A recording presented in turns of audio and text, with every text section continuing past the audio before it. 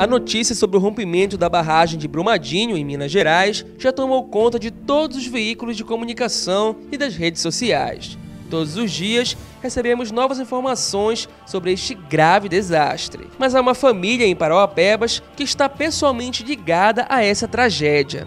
A família de Lenilda Cavalcante, uma das pessoas que se encontra desaparecida após o rompimento da barragem. Lenilda morava com sua família em Parauapebas até três anos atrás, quando foi chamada para ir trabalhar em Brumadinho. O momento era de felicidade para a família, pois Danilo esperava proporcionar uma vida melhor para ela e seu filho. Maria Lúcia é tia de Lenilda e está acompanhando o noticiário todos os dias na esperança de alguma novidade sobre o paradeiro de sua sobrinha. Ela conta como a família descobriu sobre esta tragédia. Quando eu vim saber, eu estava lá no banco, eu não estava ligada no celular, né? Quando eu saí, a minha sobrinha falou assim, disse, tia, a senhora viu Aí eu disse, no grupo, aí eu disse, não, o quê? Aí ela disse assim, a barragem. Teve um problema lá. Maria Lúcia descreve o sentimento quando percebeu que sua sobrinha estava desaparecida, junto com centenas de outros trabalhadores. Acredito assim também as outras famílias, né? Não tem chão, né? A gente está aqui só, só Deus mesmo sabe.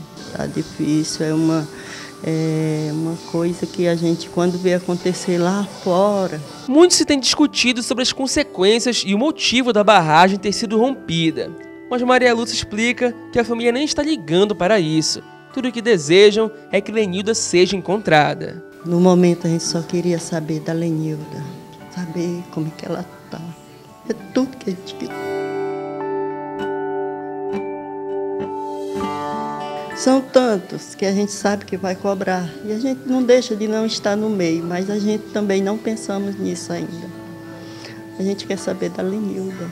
Apesar de abalada com a tragédia, Lúcia conta que ainda tem muita esperança e fé de que sua sobrinha possa ser encontrada com vida. A esperança não morreu, porque a gente acredita num Deus vivo.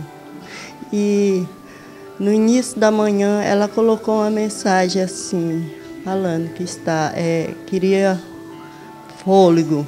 Né? Então ela pediu fôlego. Estamos baseando que Deus está dando esse fôlego para ela até essa data e até a hora que encontrarmos ela.